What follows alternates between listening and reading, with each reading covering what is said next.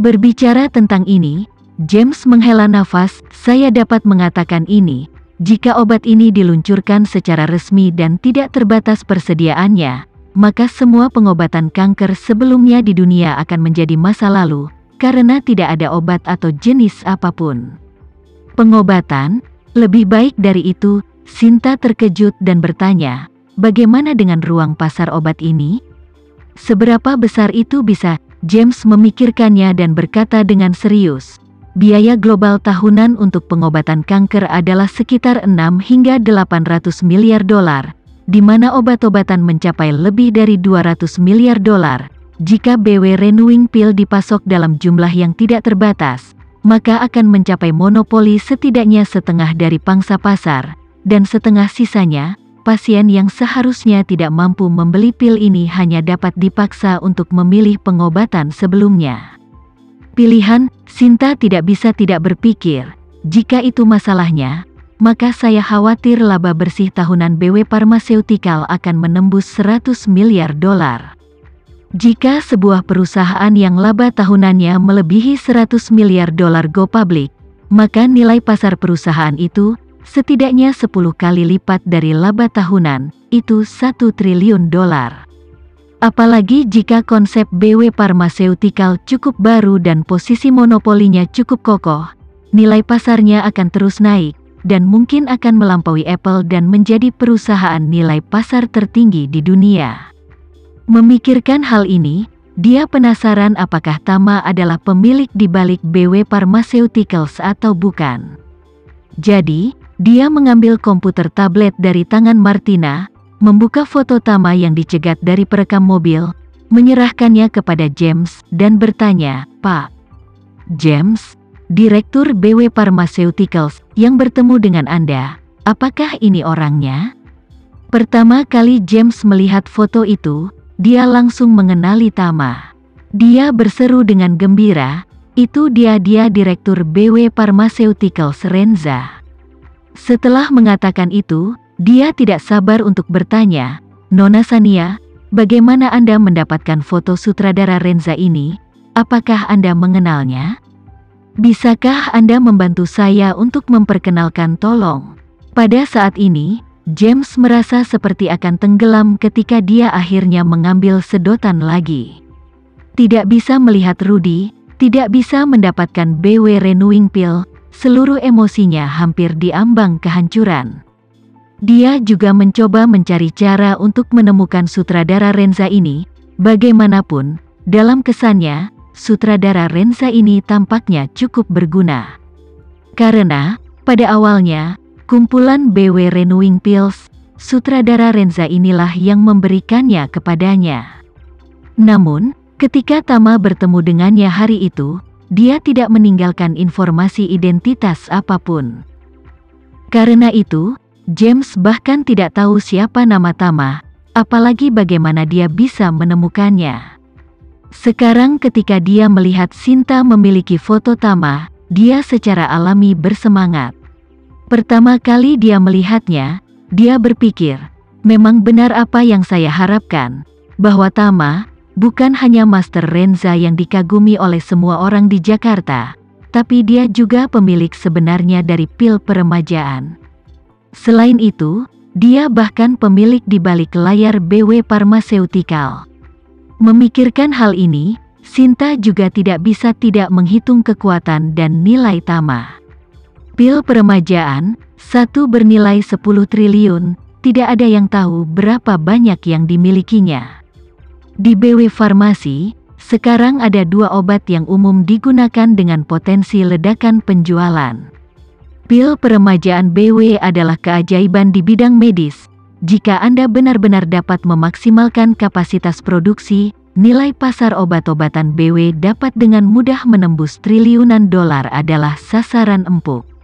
Menurut tren ini, Tama sendiri berpeluang menjadi yang keempat setelah tiga keluarga papan atas dunia. Semakin banyak kasusnya, semakin Sinta tidak bisa mengetahuinya. Dia tidak bisa menahan nafas dalam hatinya. Aku benar-benar tidak mengerti. Tama memiliki kekuatan yang begitu besar, mengapa dia harus mengundurkan diri ke Jakarta yang kecil ini?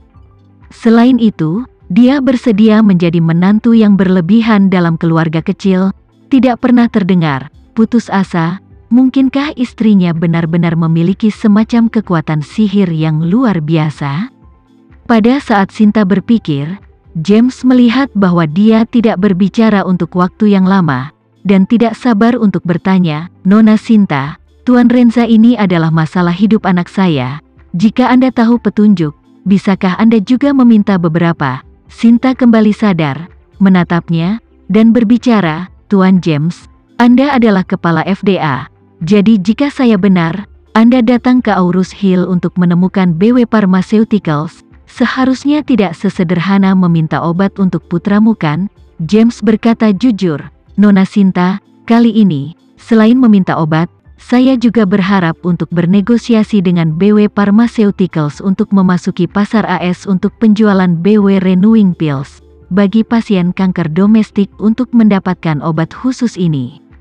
Nona Sinta, tolong bantu, bantu saya untuk membuat janji dengan Tuan Renza ini. Sinta dengan tidak berdaya berkata, Tuan James, saat ini saya sendiri memiliki hal-hal yang sangat penting untuk ditanyakan kepadanya, dan belum menemukan pintunya, jadi dalam hal ini, saya mungkin tidak dapat membantu Anda. Ketika James mendengar ini, dia tidak bisa menahan diri untuk tidak bertanya, Nona Sinta, apakah Anda juga ingin meminta BW Renewing Pill?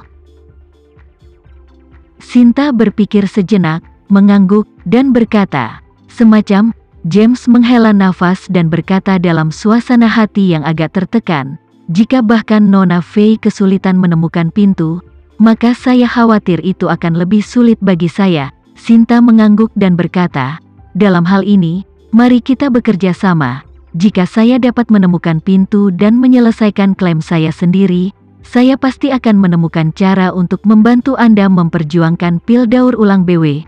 James mendengar kata-kata ini, hatinya tiba-tiba sedikit rileks, dan dengan cepat berkata dengan penuh terima kasih, kalau begitu terima kasih, Nona Sinta. Sinta dengan lembut berkata, Tuan James, tidak perlu terlalu sopan, tetapi di luar pintu ini, siapa pun di Jakarta bertanya apakah Anda mengenal saya, Anda harus menyangkalnya mengerti. James tidak tahu apa niat Sinta, tetapi masih segera mengangguk dan berkata, Jangan khawatir, Nona Sinta, mulai sekarang, saya tidak mengenal Anda. Sinta mengangguk kecil. Tidak banyak orang yang tahu tentang identitas aslinya, dan bahkan lebih sedikit lagi di Jakarta. Selain rombongannya sendiri, satu-satunya orang yang tahu tentang itu adalah James ini. Oleh karena itu, dia secara alami berharap bahwa dia dapat menjaga rahasia, yang tidak boleh menjadi terobosan bagi orang lain untuk menyelidiki identitasnya. Namun, dia tidak tahu bahwa Tama sudah mulai menyelidiki identitasnya. Keesokan paginya, Leo mengirimi Tama semua informasi yang tertinggal ketika kelompok Sinta memasuki negara itu. Selain informasi identitas Sania Fair Sinta, Tama juga mengidentifikasi informasi seniman bela diri bintang 6 yang meninggalkan informasi bernama Liton, juga seorang Indonesia Prancis. Tama juga tahu betul bahwa identitas Wilton juga palsu. Satu-satunya hal yang nyata adalah informasi wajah yang tertinggal saat memasuki negara tersebut. Selanjutnya, Tama mengirim informasi yang diberikan kepadanya oleh Leo kepada Yoshua, dan pada saat yang sama memberinya perintah.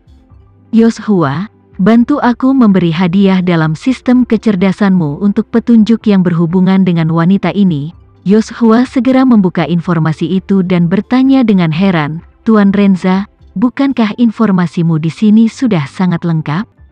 Dan itu sudah sangat detail, tidak hanya informasi identitas pribadi yang terdokumentasi dengan baik, bahkan informasi masuknya di Indonesia semuanya jelas.